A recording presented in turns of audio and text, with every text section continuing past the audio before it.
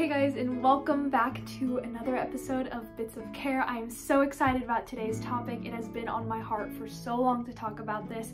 Today I'm to tell you guys, or not tell you guys, teach you guys how to love yourself. This is a topic that we see many influencers talk about and most of them say it's about changing your mindset. Just choose to love yourself. And I feel like there's a lot more that goes into loving yourself than just choosing to love yourself. So today I'm going to show you that love is a verb.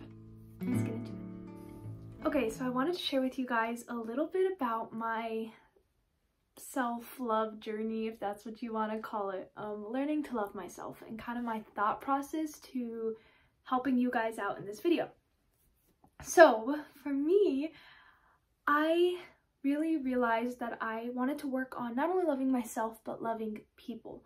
And when I came to realize that you love people, not just by saying, I love you, but by showing through your actions and the way that you treat those people that you love them.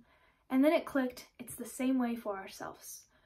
We can't just look in the mirror every morning and say, I love you. We also have to show that we love ourselves through our actions and through our words and how we treat ourselves.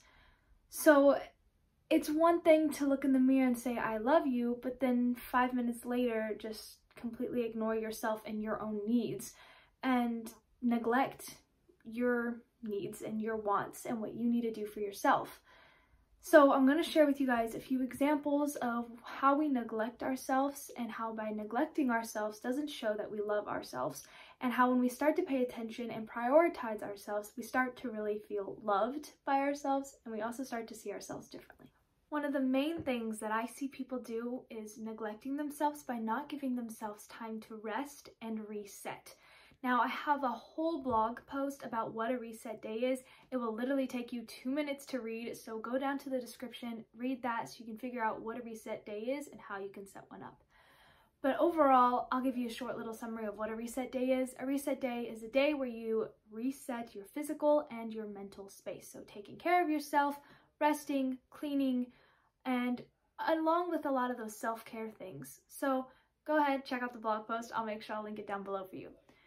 But a lot of the times we get so busy that we neglect that we need time for ourselves. Here's an example. You see a loved one who's struggling, has no time to take a breath, who is just so overwhelmed with their life and they're really stressed out 24 7. You love them, right? And you wish that you could help them by giving them time to relax and just breathe for a second. You want them to feel their best. Same thing goes for yourself. You love yourself, you want to see yourself feeling your best, and you want to see that you are thriving, not just surviving this life. I know that it is so hard to find time to relax, trust me. But that's when we get a little confused. You don't have to have a whole day. If you can't fit in your schedule a whole day out of your week to just take care of yourself, don't worry about it. Find time throughout your week you have 25 minutes. What are you going to do with those 25 minutes? Are you going to take those 25 minutes and stress out? Are you going to take those 25 minutes and go on a walk, read a book, breathe, drink a nice cup of coffee, do something that you love, take a hot shower, something in those 25 minutes. Time is so much better when you use it for things for yourself and for the people that you love. And you are someone that you love. So this is how you're going to show yourself that you love you. And I know it sounds super weird to talk about yourself like this, like I need to love me. but it's not only saying I love me today, it's also about showing me how I'm going to love me today. So that's my first one. I'm going to cut myself off, otherwise I'm going to ramble about it. so on to the second example. Words are powerful. How you speak to yourself and how you speak to others makes a big impact on their lives and your life. You wouldn't go to someone that you love and say, oh, that shirt looks ugly on you. You wouldn't go to someone that you love and say, why does your hair look like that? Why does your skin look like that? Why are you built that way? We don't talk to people we love like that. So why are we going to talk to ourselves like that? We deserve the same amount of kindness out of our mouths that we give to others around us. Look at yourself in the mirror and say, that shirt looks really good on you today. You know, you don't have to talk like that, but make the decision in your mind to silence those negative, doubtful thoughts about yourself. Switching one thought from something bad to something good, over time, it will get so much easier to see yourself in a better way. I guarantee. If you see a negative thought pop up in your head, say, no, you know what? Maybe it says, nobody likes you. You're like, nope, I am liked. I will find my people. Maybe you have a thought that pops in your head that says, You're so ugly. Why can't you look like that person you saw online? You say, You know what? I am built different and God created me beautifully and wonderfully. You have to start um, countering those thoughts and pushing those thoughts aside because they are not the truth about you. Those are just lies that you have been speaking over yourself. So, loving yourself, I'm going to be completely honest, it's not easy. I mean, love takes patience and it takes kindness and forgiveness, and it's something that has to be slowly shown and given. So, once again, show through your words and your actions that you love yourself.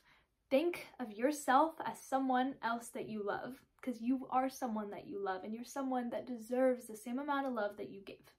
There's one thing that you get from this entire video, it's that you need to show yourself love. Not just by one decision you wake up you're like, oh yeah, today I'm gonna love myself, and then forget about yourself the rest of the day. I want you guys to slowly add habits that show yourself that you love you.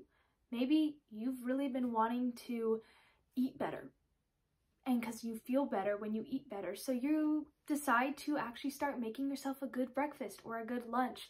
Those small changes are showing yourself that you love yourself just like with a friend, when you decide, oh, I'm gonna text them every single morning just to say good morning and I hope you have a great day, just so they know that I love them. It's the same way. Those small habits make a big impact on their day, on your day, and on your life.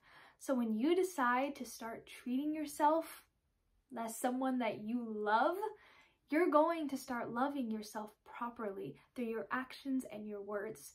I really want you guys to know that if you are struggling with not feeling enough or not feeling loved at all, God loves you so much and He absolutely wants to fully embrace you in His love. His love is patient and His love is kind and His love is graceful and He fully loves you the way that you are today. You do not need to be changed. You do not need to change anything about you to feel His love.